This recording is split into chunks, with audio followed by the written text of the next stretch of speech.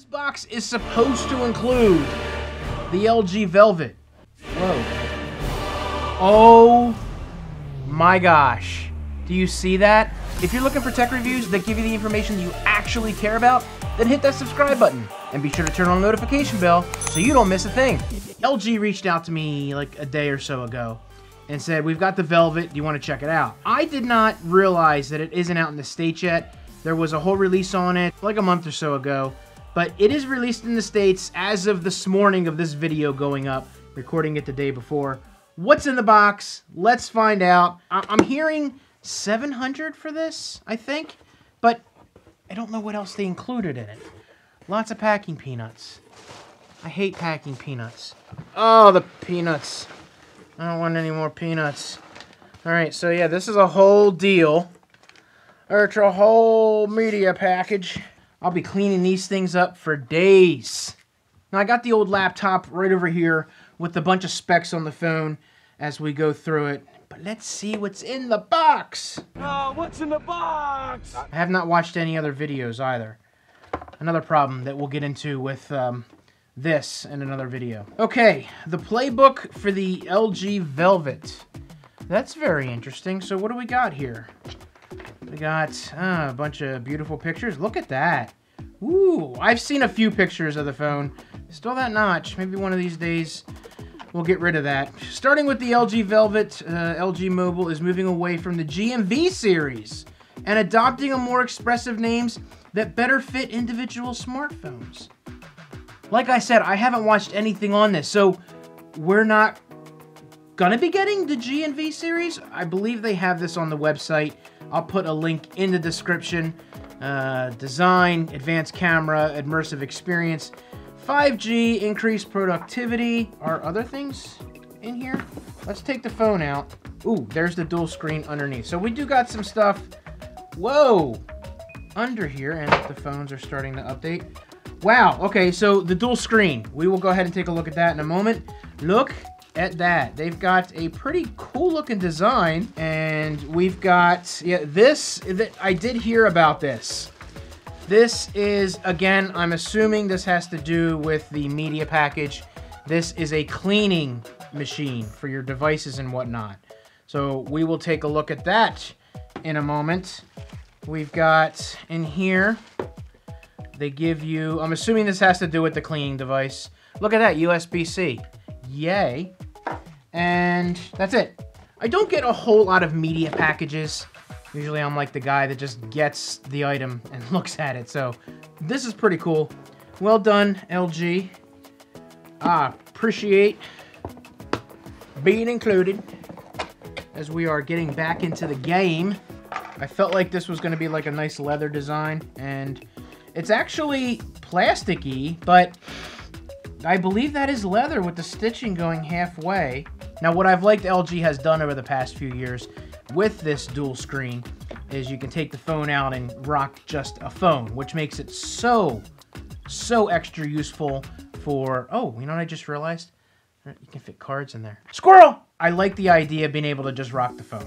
That's what I'm trying to say in not so many words. This is what happens when you don't have things scripted. You just... Dual screen. This is supposed to be a new look. New look how? Whoa. Oh my gosh. Do you see that? Oh, do you see that? Do you see this? Do you see do you see my face looking at that? Do you see it? Now was this was this is what everyone was showing because I didn't watch any videos. There is no fingerprints on the whole thing. They went just to the screen. There it is. We've got the little adapter, which is woo magnetic. You see it? Wow, magnetic. Look at oh look at that. It's like standing up on its edge. Why is that magnetic? Magnetic Jones. Right, kind of right there. Boom! Locks in right there like a. Oh my god, who the hell cares? Sorry, I'm easily distracted. Thank you. No more fingerprints. Oh, good lord. I mean, that's just awesome. I know it's just a. Okay, so what color do you think we got? Did we get black, white, red, silver? I guess I don't know what other colors there will be. I'm assuming different manufacturers. Ba-bam! Ooh, silver. Okay. Okay. I'll take so. Oh my. Wow, you take that off and it's like. Do you see that? Look at that. Wow. The colors, man. It's like a double rainbow. Actually, it's just a single rainbow. But okay, you get the idea. This is not small. First off, it's way thinner than the V60. As you guys can see up above, this feels thinner. And yeah, it's a good, it's a, no, it's not thinner. It just feels thinner, probably because of the sides. False alarm, false alarm, it's not thinner, it's thinner on the sides. Sorry. Don't roast me in the comments, LG guy. You know who you are. I don't even know if you're subbed. That's another another video. I will talk about that as well. Just a little bit shorter than the V60, like a half a finger. But because of these really thin edges here, it feels thinner, but it's not. It's it's on the back here you see we got some cameras. One, two, three, and I think that's a light or a flash. So that is interesting. I really like the way that this feels. Very, very premium feeling, but thin, if that makes sense, even though, again, and with the case, I like the case on it. The case looks nice. Got the little silver action going on there. I just realized you could put credit cards in there, driver's license and whatnot. Very nice minimalistic case. So let's see what else is in the box. My guess is there would be a wall wart, unlike some companies who may not be doing a wall wart. So there's the start guide. There's the promise to you as far as uh, satisfaction and being happy with the product. Product safety and warranty info. Oh, look, a fast charger. Apple, look, they put a fast charger in their uh, $700 phone, I think it is. We, we still got to talk about that. SIM card tray removal and removal tool, and I believe that's about it. All right, so let's go ahead and set up the fingerprint sensor, and let's see how well this does. 29, 36. Every time you feel it, kind of just do like a little boop boop. That's what she said. so that worked, as I was interrupted by a phone call. That's wonderful. Your system needs to tap away. Tap, tap, tap it away. Match your voice. What? That's a pretty cool background. You like your breadsticks. Do not remove the battery when your phone is unresponsive. Um, okay. I don't know if I can remove the... Does this back come off? I mean, like... What? There she is with a whole bunch of lovely apps pre-installed. Thank you, AT&T, for that. And, you know, it's the LG skin. This display looks absolutely phenomenal. Google is completing setup. More crap on the phone that I'm going to delete because I don't want. But good experience so far and very snappy. Oh, American Dad. What apps are you putting on here, AT&T? Stop. Get some help. Stop putting games and apps that we don't want on our phone. So let's go ahead and throw the phone in here which again, I am so super happy that they went with this design. This could not be any better. Back here is a little rugged. I don't remember if... Yeah, they started doing that with the other ones as well. This is much thinner on the silver version, and I believe this is... Yeah, this is for the V60. But this reminds me of something. I can't quite put my finger on it. Look at this. Got the display here on the front, which is great. Finally, they just cut it down to what you needed it to be, which makes me super happy. And of course, going into the display itself, look at that. They add on the rounded window when you just had it on there in the one shot. That looks so cool. The fingerprint sensor works pretty darn well. So on the side here to control a little bit of the info on the dual screen, you have the option for swap screens, show main screen on the dual screen, show dual screen on main, which means basically you can put your main stuff over here and this will be your secondary, or you can turn it off. Now, of course, what you don't see on here is the ability to spread it out to both. And if you go to settings, you can go ahead and pick what you want. Now, this isn't any different from the V60. You can turn all of these things on. Now, I remember when I did my video on the V60, YouTube did not look so good. So, all right, so we went ahead and opened that up. And now you have the ability to go to wide view, which I really had never had a problem with Google working on this. I think it does a darn good job. So you do have the ability to use both screens.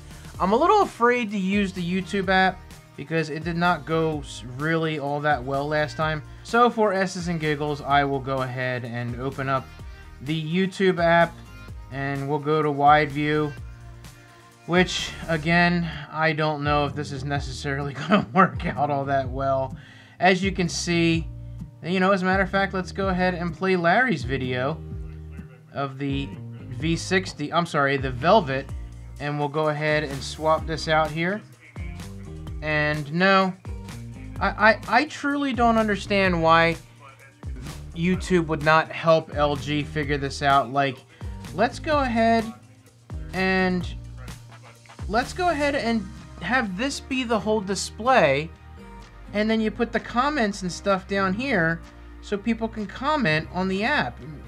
It's just a mess. Like I can't, the comments are, whoa, I closed it out. Why can't they have it like that? You know what I mean? Like this is the whole screen and then down here or vice versa would be where you do the comments and everything on the app. But all in all, I don't see a whole big difference between the secondary display and the main display. It looks like it's doing the same thing as it did before, which I have no problem with because I absolutely love that. You can swap it around here and you can actually use it as a stand as well if you want to watch YouTube videos on this side or this side.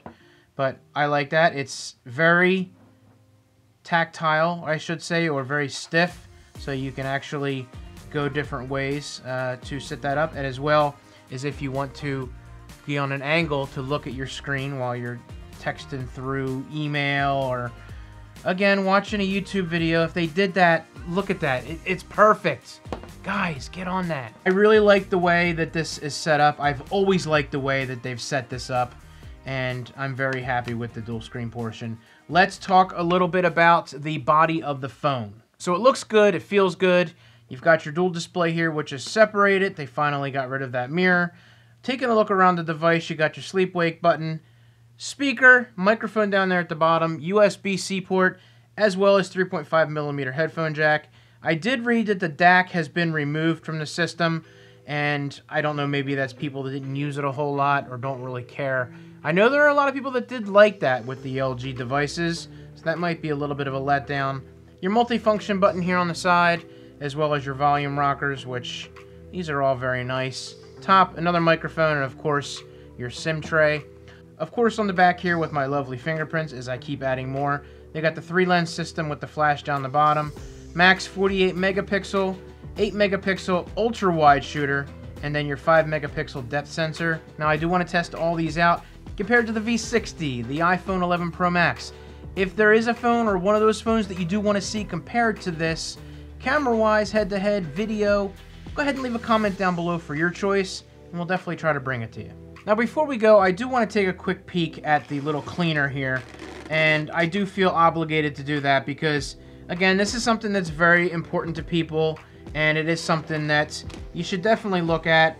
And you know what? I don't know how much this is going to be, or if we're going to start seeing these in more places and whatnot, but cleaning your device is definitely very important. They have a whole little setup here. Now this is nice because you do have the ability to hook this up, sanitize it, get it clean, which again, our devices are pretty damn dirty. And if you notice here, this will fit the device in it. Lots of room in there to put that in. Now, I don't have it hooked up yet, but just so you know, you got other devices that will go in there. Now, of course, not the whole dual screen thing in there. Of course, you know what? I don't know why you couldn't. That closes in there. Now, of course, you don't have your phone clean, but it looks like it's going to fit a lot of other devices in here. So lots more coming up on this brand new phone. Very, very cool. Gonna head it up against the V60, maybe against the iPhone 11 Pro Max. We'll see. But if you want to see the V60 take on the 11 Pro Max in a camera test, click that video right here. If you want to see the V60 in the introduction when I first started talking about it, move up there and click that video. Of course, don't forget to hit that subscribe button so you don't miss all the content on this. What's good, what's bad, how's it going to work? Stick around, you guys take it easy. Have a great day.